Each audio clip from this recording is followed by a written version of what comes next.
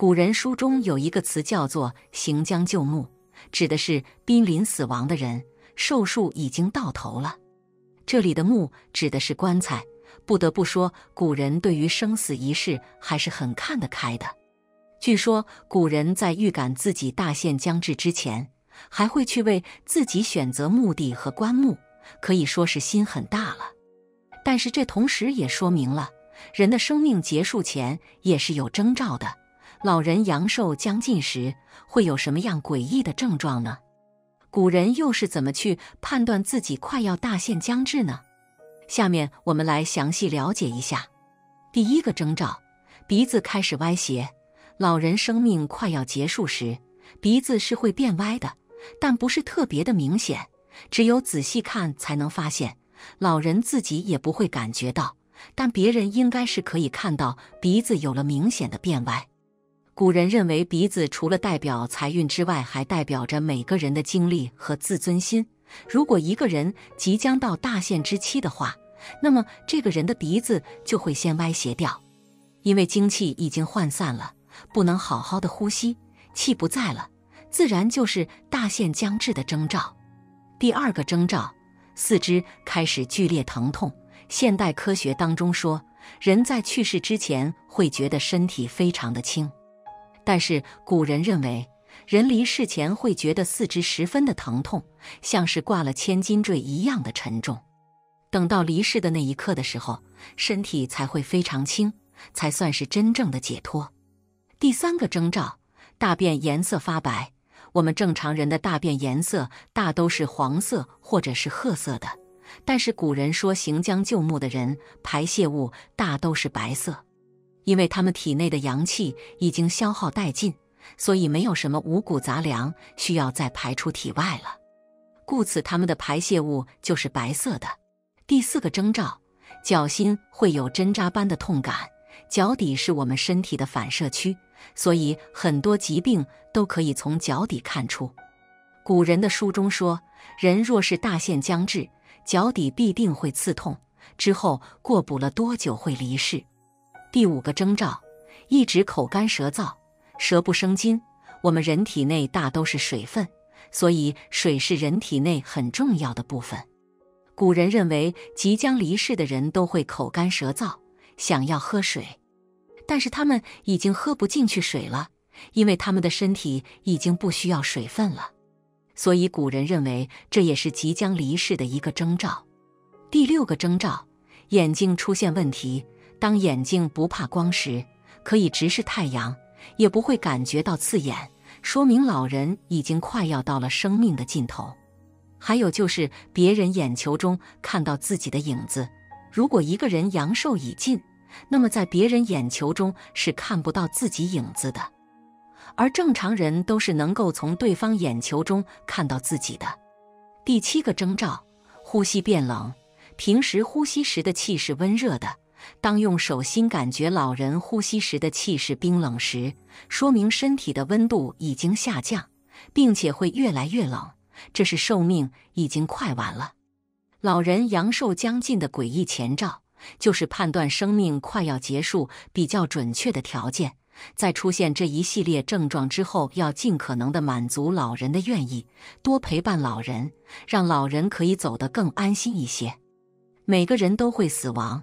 这是无法改变的，不用过于的害怕和恐慌，也不用过于的悲伤。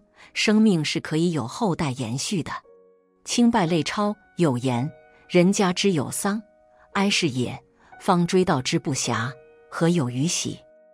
而俗有所谓喜丧者，则以死者之福寿兼备为可喜也。自古以来，我们把年迈的老人过世称为喜丧，不要一直沉浸在悲痛之中。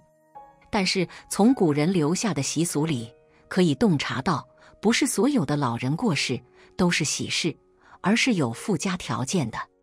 关键的一点就是福寿兼备。若我们仅仅把老人的年纪大作为喜事，而不看到福字，那就是错误的。通常来说，父母临走之前，兄弟姐妹做到五不带，是家庭的福报。一陪护，不带情绪。父母已经进入苟延残喘的阶段了，如何才能减轻痛苦？需要动脑筋，借助医疗设备，更需要耐心的陪护。一日三餐，嘘寒问暖，精神鼓励，兄弟姐妹的团结和睦，一样都不能少。从人生的归途来说，父母到了最后关头，就像一个婴儿一样，行动不方便，还得端屎端尿。很多人就会有脾气，兄弟姐妹之间也互相扯皮，谁都不愿意多照顾一天。而此时恰是孝道落实到行动的最佳机会。兄弟姐妹的做法会让子孙都看到，并且学到。不管工作多忙，抽出时间，挤出笑容，善待父母的分分秒秒。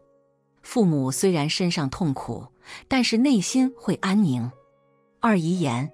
不带偏差，父母临走前会交代很多的事情，但是因为身体原因，往往不能一口气说完。若是写遗嘱，都可能有偏差。特别是一些患了老年痴呆的老人，根本就控制不住自己，说话也稀里糊涂，做事颠三倒四，不知道哪一句是真实的。作为子女，要善于判断父母的遗言。不要为了一己私利就主观臆断，或者强求父母把更多的利益让给自己。春秋时，魏武子有妻有妾，他在健康的时候告诉儿子魏科，他过世之后让妾改嫁。当魏武子病入膏肓的时候，精神恍惚，告诉魏科，他过世之后让妾殉葬。魏科最后把魏武子的妾改嫁了，因为他相信清醒时的遗言。过了一段时间，魏科在战场上被困，忽然冒出一个老人，用绳子绊倒了敌军的马，魏科就脱困了。原来老人是妾的父亲，前来报恩，这就是结草报恩的典故。公正的判断父母的遗言，这是做人的道德，也是人与人之间能够长久信任、正能量可以传递的根本。三会客不带丧气。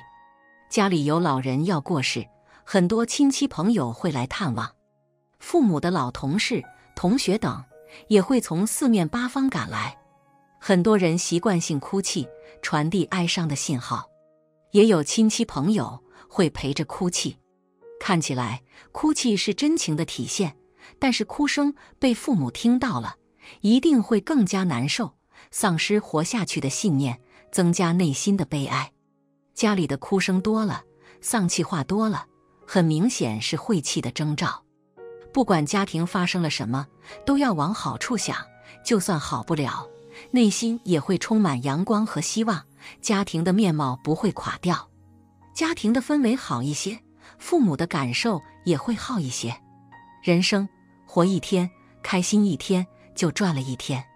四遗产不带私心，常常听到一句骂人的话。老人尸骨未寒，你们就争执不休。很多家庭顾不上老人的后事安排、关照等，兄弟姐妹使劲争夺家财，谁都不愿意吃亏。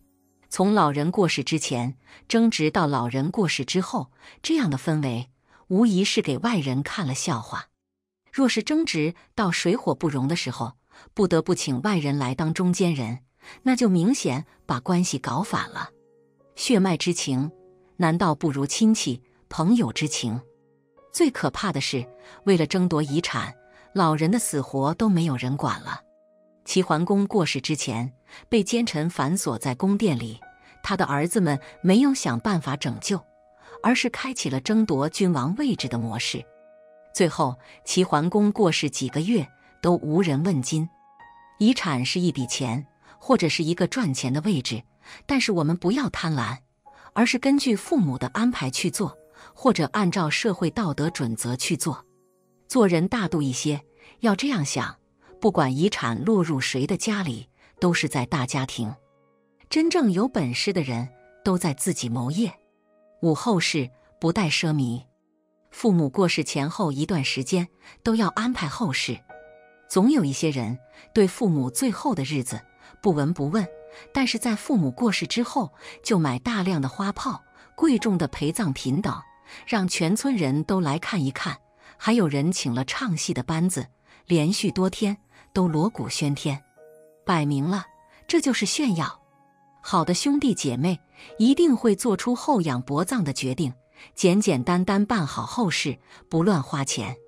有些后事还得尊重父母的意见，但凡父母交代的，都要认真考虑，择其善者而从之。父母过世也是家庭延续、家庭主角更替的过程，在哀伤之中留住一份喜气，并不要一直哀伤。子曰：“父母为其疾之忧。”你我都要记住，最后的孝顺就是让父母没有忧虑、满意的离开。本期的视频就到这里，感谢大家的观看。如果您喜欢这个视频，记得点击订阅。我们下期再见。